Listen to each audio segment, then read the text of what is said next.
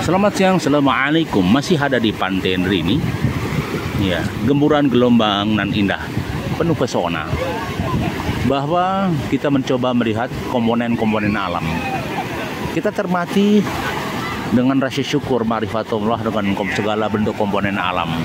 Lihatlah teman kita duduk di atas batu nan indah menikmati panorama nah penuh pesona di hari ini.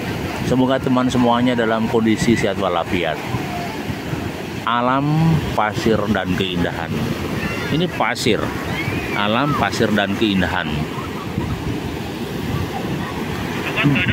Banyak orang yang kadang tidak bisa menikmati suasana dikarenakan banyak masalah dan terpuruk dalam kehidupan. Coba kita bersyukur kehadirat Allah. Bagaimana air ini dialirkan ke danau, air dialirkan ke laut. Dari awalnya dari sungai kemudian mengalir ke lautan.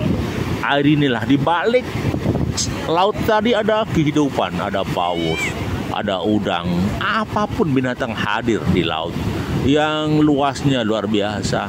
Kita bersyukur kehadirat Tuhan yang Maha. Betapa luas alam maha semesta ini, betapa luas kehidupan ini. Kita tidak bisa mengukur berapa kilometer laut ini terhampar di kawasan pantai ini.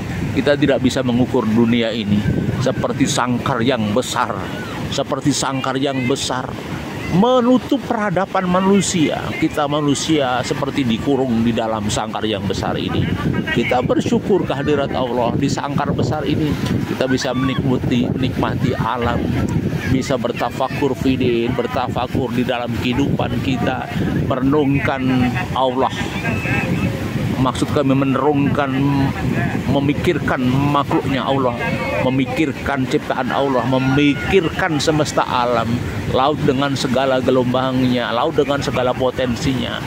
Butiran cadas yang gempur larut dengan butiran pasir-pasir sangat indah gelombang datang yang pasang sangat indah penuh pesona di hari ini. Semoga kita menyadari Allahu Akbar Subhanallah walhamdulillah wa la ilaha Allahu Akbar. Subhanallah walhamdulillah wa la ilaha Allahu Akbar. Subhanallah walhamdulillah wa la ilaha Allahu Akbar. Luar biasa ya Allah. Betapa nikmatmu yang luar biasa Gelombang yang besar Laut yang luas Pantai-pantai nan indah. Alami Tergerusi dengan gelombang Seperti dinamika kehidupan yang akan patah hancur, yang akan tumbuh, semuanya hadir dalam kehidupan ini. Dan kita pun sebagai manusia akan hancur menjadi partikel-partikel debu. Inilah kehidupan. Maka nikmati kehidupan ini dengan berbagai cara. Nikmati dan bersyukurlah. Ya Allah, terima kasih air lautmu. Ya Allah, terima kasih mendungmu. Ya Allah, terima kasih langitmu nan indah. Ya Allah, terima kasih kebahagiaan yang hadir di sekitar kita. Semoga kita senantiasa dalam kehidupan yang bahagia di dunia wal. Selalu bahagia, selalu bahagia dan selalu bahagia. Assalamualaikum warahmatullahi wabarakatuh.